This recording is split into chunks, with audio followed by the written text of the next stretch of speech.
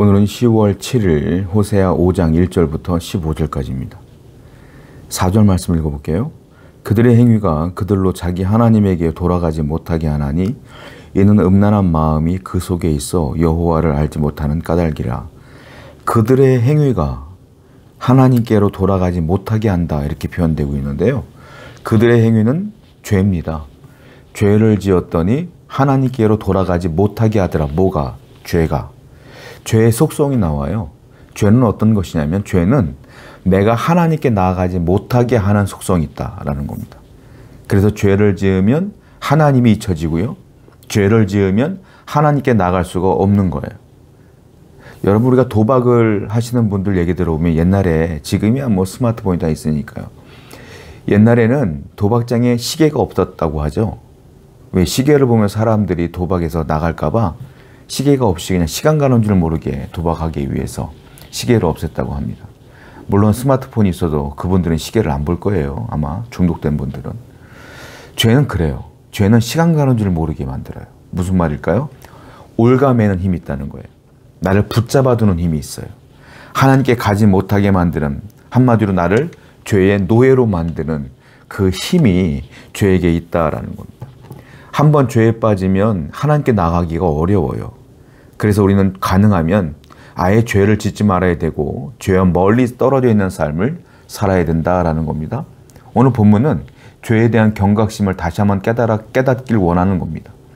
여러분들이 죄에 대한 무서움을 아셔야 돼요. 내가 한번 그 음란의 죄에 빠지면 돌아올 수 없다는 것을. 내가 한번 하나님을 떠난다면 다시 돌아올 수 없다는 것을 다시 한번 깨닫고 우리는 죄에 대한 늘 영적인 전쟁을 치러야 된다라는 것이죠. 5절입니다. 이스라엘의 교만이 그 얼굴에 드러났나니 그 죄악으로 말미암아 이스라엘과 에브라임이 넘어지고 유다도 그들과 함께 넘어지리라. 이스라엘의 교만함이 얼굴에 드러날 정도로 교만했다 이 말이에요. 자, 그랬더니 어떤 일이 벌어지냐면 이스라엘이 그 교만 때문에 넘어졌고 유다도 유다 땅도 또 넘어졌더라 이 말이에요. 넘어지는 게 결과예요. 여러분 이 교만이 뭡니까? 죄죠. 죄가 본질이 있어요. 죄 본질. 죄의 본질은 뭐냐면 하나님을 인정하지 않는 것입니다. 하나님이 그래서 무엇을 제일 싫어하냐면 교만함을 제일 싫어해요. 왜냐하면 하나님을 인정하지 않는 것은 곧 내가 하나님이 된다는 거예요. 내가 하나님이 되어서 내가 판단하고 내가 생각하고 내가 결정하고 다른 사람 말 듣지 않고 기도하지 않고 내 맘대로 사는 것. 그게 뭡니까? 그 교만이에요. 왜? 내가 생각하고 내가 결정할 때에 하나님은 없거든요. 즉, 하나님을 잊어버린 거거든요. 하나님을 잊는 것이 죄의 본질인데, 하나님을 잊는 것이 무엇이냐? 바로 그게 교만이라라는 겁니다. 교만했던 사람들은 어떻게 됩니까? 그 앞에서 넘어지더라. 우리는 항상 바른 기도를 해야 돼요.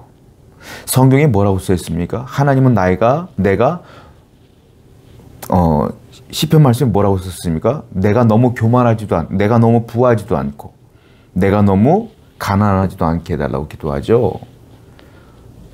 내가 너무 부하면 어떤 일이 벌어져요? 교만해지는 거예요. 내가 너무 가난하면 어떻게 돼요? 죄 짓고 하나님의 영광을 가려요. 그래서 적절한 인생의 삶을 하나님께서 보장해 주기를 원하는 기도를 하지 않습니까?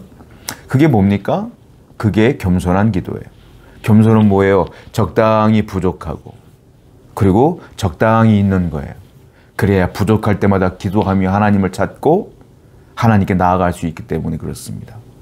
인생이 그런 거예요. 여러분 항상 교만을 멀리 하시고 항상 겸손하여 하나님께 나아가는 여러분 되기를 축원드립니다. 6절 말씀이에요.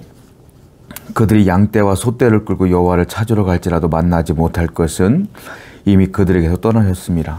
그들이 나중에 하나님께서 내 인생을 도와주지 않는 것 때문에 하나님께 나아간다는 거예요. 어떻게?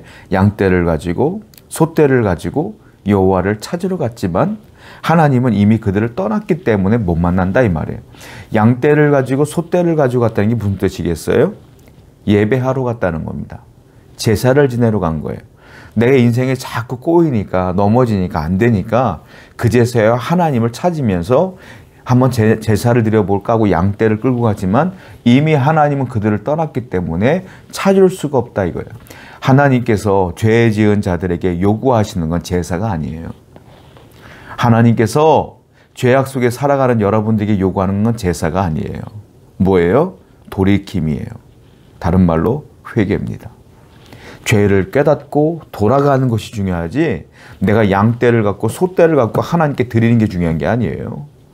죄를 지었으면 반드시 그 죄를 깨달아 하나님께 용서를 구하여 주님께로 돌아가는 것이 중요하다는 겁니다. 오늘도 항상 영적인 민감함을 가지고 이 죄를 멀리하고 회개하여 주님께 나아가는 여러분 되시기를 축원드립니다. 13절에 에브라함이 자기의 병을 깨달으며 유다가 자기의 상 자기의 상처를 깨달았고 에브라임은 아수르로 가서 아랍 왕에게 사람을 보내었으나 그가 능히 너희를 고치지 못하겠고 너희 상처를 낫게 하지 못하리라. 내가 에브라임에게는 사자 같고 유다 족 속에게는 젊은 사자 같으니 바로 내가 음, 움켜 움켜갈지라. 내가 탈취하여 갈지라도 건져낼 자가 없으리라. 그들이 그 죄를 뉘우치고 내 얼굴을 구하기까지 내가 내 곳으로 돌아가리라. 그들이 고난 받을 때 나를 간절히 구하리라 자 하나님께 구해도 찾을 수가 없어요 회개하지 않고 양떼를 갖고 소떼를 가져갔더니 하나님이 없는 거잖아요 그제서야 그들이 깨달아요 깨닫고 에브라임 아수, 에브라임 아수르 왕에게 찾아간다. 뭐 이런 얘기를 하는 게 무슨 말이냐면 에브라임이 아수르 왕에게 찾아간다는 건 내 인생이 권고하니까 좀 도와주세요라고 하나님이 아닌 것들을 찾아가서 도움을 찾는다라는 거예요. 그렇지 않아요? 하나님을 믿지 않는 분들은 우상을 찾아가 도움을 구하죠. 신령님께 구하고 부처님께 구하고 다 구하는 거잖아요. 그래도 하나님께서 돕지 못한다는 거예요. 그들이. 왜냐하면 여기 뭐라고 하셨어요? 내가 에브라임에게는 사자 같고 유다에게는 젊은 사자 같다 그랬어. 그리고 뭐라고 했습니까? 내가 움켜갈지라.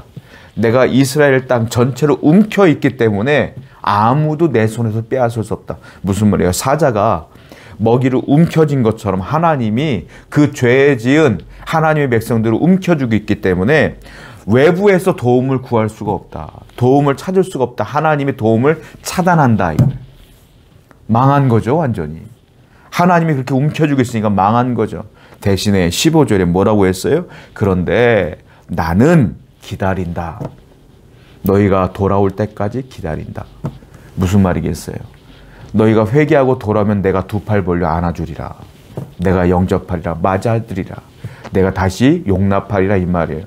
회개하지 않으니까 움켜쥐고 도움을 차단하고 있는 것이지 너희들이 회개하고 돌아오면 내가 다 용서하리라.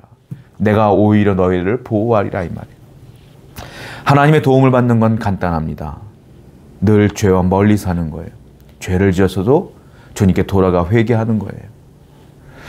특별히 이스라엘 백성들에게 하나님께서 요구하는 죄는 뭡니까? 우상숭배입니다. 영적인 간음이에요. 하나님의 아닌 다른 신을 섬겼기 때문에 하나님께서 그들의 모든 죄들을 이야기하고 있는 거예요. 여러분들의 가장 위험한 죄는 우상숭배입니다. 우상숭배가 뭡니까? 하나님이 아닌 것들을 더 의지하는 게 우상숭배입니다. 오늘도 하나님만을 바라보고 죄를 지었으면 주님께 돌아가 회개하는 여러분 되기를 축원드립니다. 기도하겠어요. 아버지 하나님 언제나 죄를 멀리하는 자가 되게 하시고 언제나 회개하여 하나님과 동행하는 삶을 살게 해 주시옵소서. 예수님의 이름으로 기도드렸습니다. 아멘.